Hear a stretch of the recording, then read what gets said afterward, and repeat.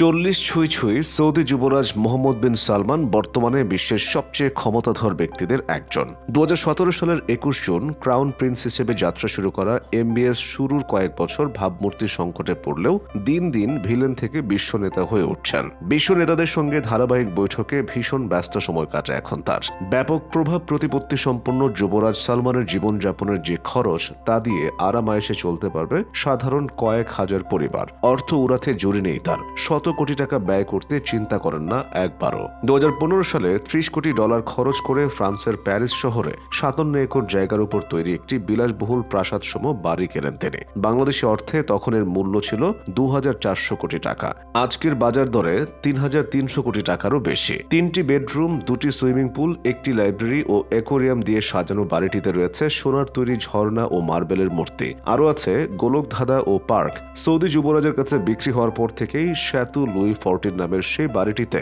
সর্বসাধারণের প্রবেশ নিষিদ্ধ করা হয়। তবে বাড়ি কেনার পর সেখানে আর যাননি তিনি। একই বছর আটত্রিশ কোটি ডলার খরচ করে যুবরাজ সালমান একটি সুপার ইয়ট বা প্রমোত্তরি কেনেন রুশ ধনকুমের ইউরি শেলফারের কাছ থেকে। বিশ্বের সবচেয়ে বড় প্রমোত্তরিগুলোর একটি এই ইয়ট, নাম সেরিন। দৈর্ঘ্য প্রায় চারশো বিশ ফুট আর প্রস্থ ষাট ফুট। ইতালির একটি শিপইয়ার্ডে বানানো ইয়টটিতে রয়েছে দুটি হেলিপ্যাড, একটি সাবমেরিন ডক একটি আন্ডার ওয়াটার রুম, একটি জাকুজি, একটি সিনেমা থিয়েটার এবং পিয়ানোর মতো সরপিল সিঁড়ি। একসময় আমেরিকান বিলিনিয়ার বিল গেটস এটি লিজ নিয়েছিলেন। বাংলাদেশি মূল্য মানে এর দাম এখন প্রায় চার হাজার কোটি টাকা। দু সালে মালদ্বীপের ভেলা নামক একটি ব্যক্তিগত দ্বীপে এক মাস ধরে পার্টির আয়োজন করেন প্রিন্স সালমান। মধ্যপ্রাচ্যের তিনি এবং তার কয়েক ডজন পুরুষ বন্ধুর সঙ্গে সেখানে অতিথি ছিলেন ব্রাজিল, রাশিয়া ও অন্যান্য দেশ থেকে আসা প্রায় একশো পঞ্চাশ জন নারী। ভেলা দ্বীপ বিশ্বের অন্যতম বিলাসবহুল ও ব্যয়বহুল দ্বীপ হিসেবে খ্যাত। সেখানে ভারত মহাসাগরের নীল জলের উপর আছে প্রায় চার ডজন ব্যক্তিগত বাগান বাড়ি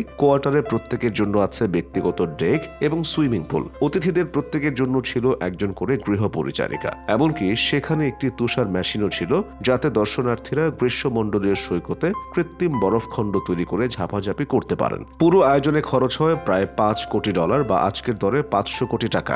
রিসোর্টের তিনশোরও বেশি কর্মীর প্রত্যেককে নগদ অর্থ টিপসের বাইরেও পাঁচ হাজার ডলার করে বোনাস দেওয়া হয়। বিখ্যাত সব চিত্রকলা কেনায় ঝোঁক আছে যুবরাজের। চৌত্রিশ কোটি ডলার খরচ করে দু সালে লিওনার্দো দ্য ভিঞ্চির বিরল শিল্পকর্ম সালভাতর মুন্ডি কিনে নেন সৌদি যুবরাজ। এটি এ পর্যন্ত সবচেয়ে বেশি দামে বিক্রিত কোনো শিল্পকর্ম। বর্তমান বাজার দরে বাংলাদেশি মুদ্রায় এর ক্রয় মূল্য সাড়ে তিন হাজার কোটি টাকারও বেশি। দুই হাজার সতেরো সালে যুবরাজের নিজের পোষা আশিটি বাজ পাখির জন্য বিমানের টিকিটও কেনা হয়েছিল। যাত্রাপথে যাতে কোনো বিড়ম্বনা না হয় সেই জন্য পাখিগুলোর ডানা বেঁধে দেওয়া হয়। আসলে আরব উপদ্বীপে শিকারী বাজ পাখির সাংস্কৃতিক ও ঐতিহাসিক মর্যাদা রয়েছে। হাজার হাজার বছর ধরে বাজ পাখির লড়াই খেলা চলে আসছে সেখানে। এই খেলাকে আরবরা এতটাই গুরুত্ব দিয়ে থাকে যে, এসব পাখির নিজস্ব পাসপোর্টও রয়েছে। ফলে তারা মালিকের সঙ্গে এক দেশ থেকে অন্য দেশে ভ্রমণ করতে পারে। উত্তরাধিকার সূত্রে বিপুল অর্থের মালিক সালমান এভাবেই নানা হেয়ালিপনায় দেদার্সের টাকার শ্রাদ্ধ করেন। বর্তমানে সৌদি সরকার ব্যবস্থায় রাষ্ট্রীয় সম্পদের নিয়ন্ত্রণও তার হাতে কুক্ষিগত। ফলে অর্থের যোগান নিয়ে কখনো চিন্তা করতে হয় না।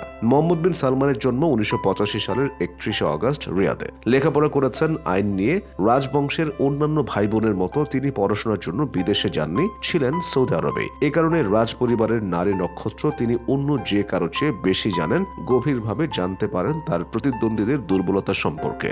যা তাকে কম বয়সে ক্রাউন প্রিন্স হওয়ার দৌড়ে অনেক এগিয়ে দেয়। হাজার বছর ধরে কঠোর ধর্মীয় অনুশাসন মেনে চলা সৌদি আরবকে এখন উদার রাষ্ট্রে পরিণত করতে চাইছেন তিনি। পাল্টে দিতে চাইছেন খোলন লচে রেড সি প্রজেক্ট নামে একটি পরিকল্পনা নিয়ে এগোচ্ছে সৌদি, যার মূল লক্ষ্য তেলের উপর নির্ভরতা কমিয়ে পর্যটন থেকে আয় বাড়ানো। এজন্য দুবাইয়ের মতো করে জেদ্দাকে গড়ে তুলছেন তিনি। সেখানে থাকবে নাইট ক্লাব, বার ও বিদেশি শিল্পীদের কনসার্টের আয়োজন।